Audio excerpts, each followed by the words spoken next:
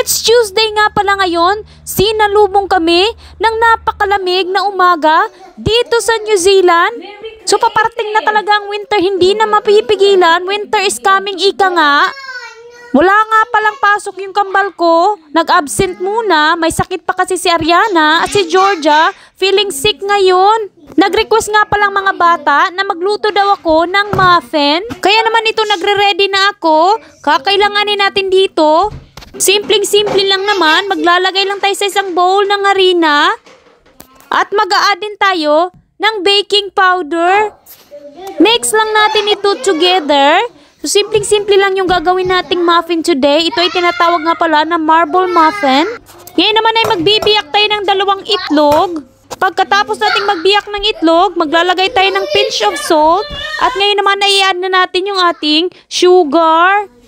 Whisk lang natin ito gamit of course ang ating manual whisk. Halo-haloin hanggang sa ma-dissolve na yung ating sugar. Ngayon naman na mag-add tayo ng vanilla extract. At maglalagay din tayo ng vegetable oil mixed together. Pagkatapos, mag-a-add na tayo ngayon ng milk o gatas. Whisk lang natin ito ng bonggang-bongga. Ngayon naman ay mag-a-add tayo ng cornstarch o corn flour. So alam nyo ba dito sa New Zealand wala silang cornstarch? Corn flour yung gamit nila. Ibang-iba sa cornstarch. Mas starchy o thick yung cornstarch kaysa sa corn flour. Ngayon naman ay add na natin yung harina na hinaluan natin kanina ng baking powder. Gamit ang sifter, sisift lang natin ito para walang tibugol. Mix lang natin ito together lahat ng ingredients. Nung bata pa ako, palagi talaga ako naglalaway kapag nakakakita ko ng cupcake na binibenta sa bakery. Hanggang tingin lang talaga ako at hindi kaya, hindi nakaka-afford.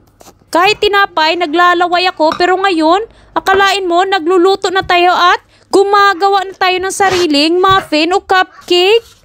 At saka tinapay. So, gamit nga pala yung ating muffin tin. Maglalagay tayo ng cupcake cups at ilalagay na natin yung mixture na hinahalo-halo natin kanina.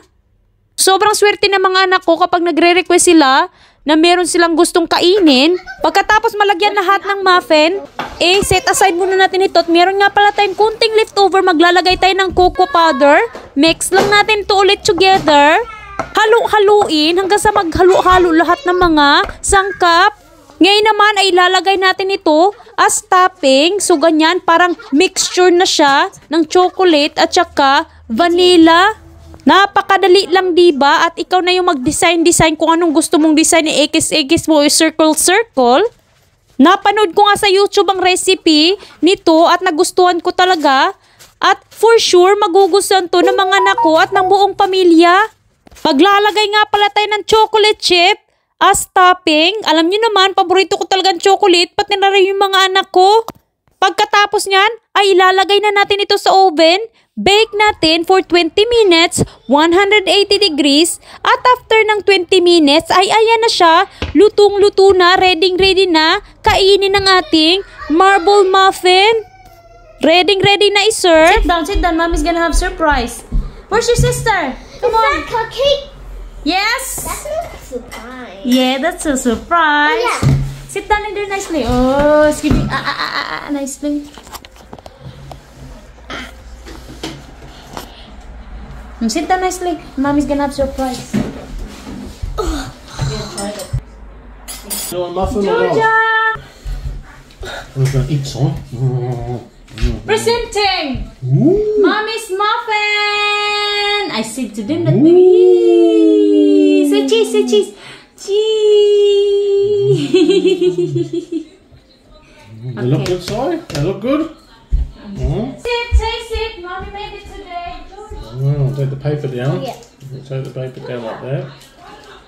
Georgia Mmm. wanting to eat this this morning. Oh, mm. Delicious? Wow!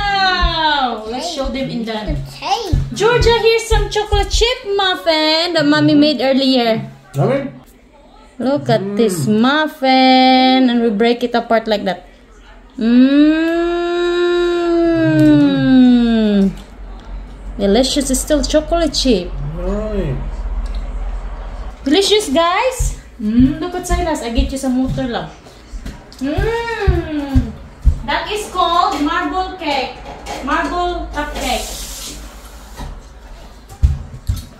marble cupcake from from Saudi Arabia. Delicious. Yummy, eh? Mmm. Say, say, yummy, say. Mmm. Mmm. Susudan. Mm.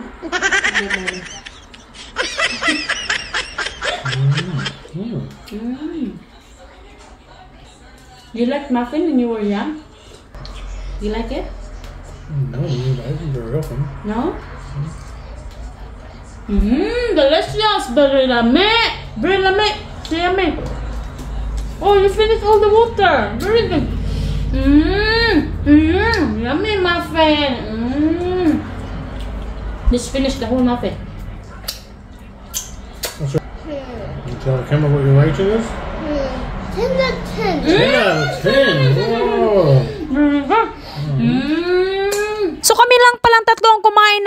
Ng muffin. Wala nga pala si Georgia si Ariana. Walang gana. Medyo not feeling well pa. So guys, thank you for watching this video. I hope nag-enjoy kayo. At sa susunod naman na vlog. Bye!